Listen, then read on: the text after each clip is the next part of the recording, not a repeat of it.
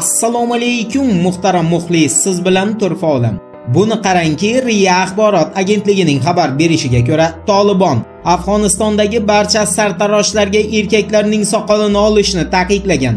Ushbu taqiqni buzganlar esa afg'onistonda joriy etilgan islomiy shariatni buzishda ayblanib jazoga tortiladi. Bu e'lon birinchi bo'lib afg'onistonning janubidagi gilmand viloyati diniy politsiyasi tomonidan mazkur viloyatda faoliyat olib boruvchi barcha sartaroshlarga tarqatib chiqilgan. Gilmand viloyatidan so'ng esa tolibonning bu yangi taqiqi poytaxt qobulga ham yetib borgan. Aniqrog'i mamlakatdagi ko'p sonli sartaroshxonalar oldiga toliblar tomonidan erkaklarni soqolini olmaslik to'g'risidagi taqiqli e'lon yopishtirib ketilgan.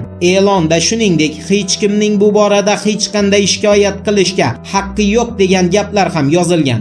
Afg'oniston bo'yicha jahon hamjamiyatining mutaxassislarini fikriga ko'ra tolibonning bunday mazmundagi va bundan oldingi ayollar saloniga bog'liq bo'lgan taqiqli e'lonlari ilgari aniqrog'i 1996 yildan 2001 yilga qadar hukm surgan tolibon boshliq afg'oniston islom amirligini eslatmoqda. Voqealar rivojini esa birgalikda kuzatamiz. Turfa olam bilan qoling. Eng so'nggi kerakli ma'lumotlar hamisha iş aldığında.